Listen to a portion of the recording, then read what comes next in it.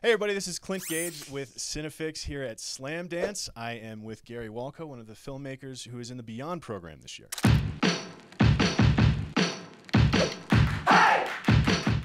Tell us a little bit about your project. Uh, well, this actually, this film, The Trouble with Dot and Harry, completes a trilogy. The first film was The Trouble with Dick, which won the grand prize at Sundance in 1987. Uh, I then had a film called Crashing, which was a follow-up to The Trouble with Dick, which stars Lizzy Caplan and David Cross, Campbell Scott, which was at Slamdance in 2007. And this film is another follow-up to The Trouble with Dick, but in this case, it stars my two children, Dot and Harry. Hence, The Trouble with Dot and Harry. What's it like working with your own children? Tough being both the father and director on the set. Definitely conflated a couple of roles there. Right, there's a little bit of overlap somewhere in there. it's the one film I've ever made. I wish I had a camera to do behind the scenes because it would just you know, have conversations with them on the set were almost like conversations in the movie. But that said, they really it wasn't just them as my kids in the movie; it's them as acting. I mean, there's some very powerful acting I believe in the film, and it's not just me being proud dad. Right. I hope. Yeah. Right. Right.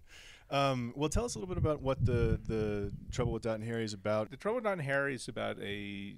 The first one was called The Trouble with Dick. It's about a writer called Richard Kindred, and in the case of this movie, he is an American novelist. He's a, and he's uh, kind of down on his luck financially, so he comes over to England to visit his ex girlfriend because he's got a chance to write a magazine article, and he's never met her kids before, and uh, and they're a handful, and soon after he arrives, she needs to go off for a family emergency, and she leaves him with the kids. And he's a bachelor; he's never taken care of kids before.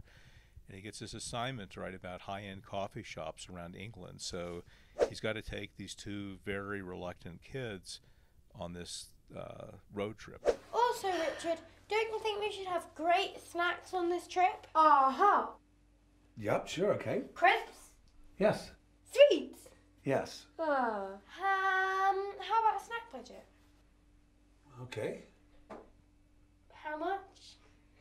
A pound. Three pounds. Two. Three pounds. Two pounds fifty. Three pounds. Two pounds fifty, and that is the cap. Each. Every day. Fine. It's a deal. Okay, we have a deal. We'll go and pack now then. Yeah, go pack and we can leave. Two pound fifty a day. Don't tell mom ever. Two. Yes, two pound fifty. Five pound a day. Three nights.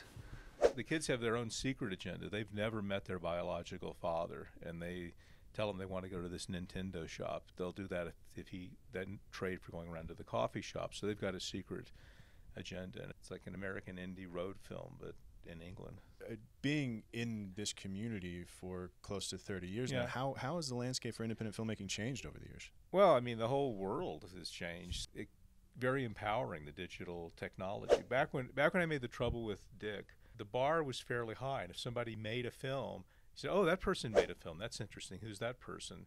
Whereas now, you could you could basically make a feature with those cameras they're interviewing us with now, or I've got one in my bag, or you could make a, actually some people make films with their iPhone now. Mm-hmm. So the bar is much much lower in terms of act. So that's why there's the no- and the noise level is higher too in terms of like.